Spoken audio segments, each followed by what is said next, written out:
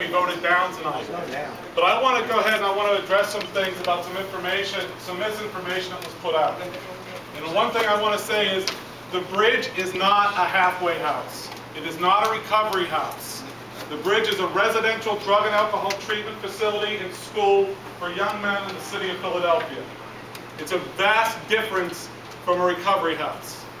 So when people say those kind of things and people try to make it out to be something that it's not, it gets a little irritating.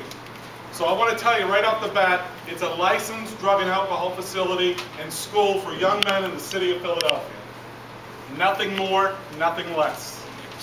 So this whole thing about a, a recovery house and halfway house thing, I understand that. If there's unlicensed facilities, I could be frustrated, I would be frustrated with that too. But the reality is, we're JCAHO approved facility. We are also approved by the Department of Health, the Department of Public Welfare.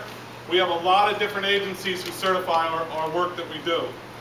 In the packages that I brought in, I brought some pictures of what the bridge looks like, an overview of the program. I also brought a letter that was uh, from our current landlords, and I'm going to talk to you about why we have to move from our present site, because I think that's relevant.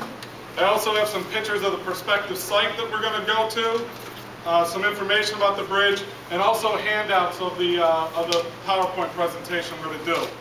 If I seem like I'm a little rushed, it's I am, because I realize we only got 15 minutes.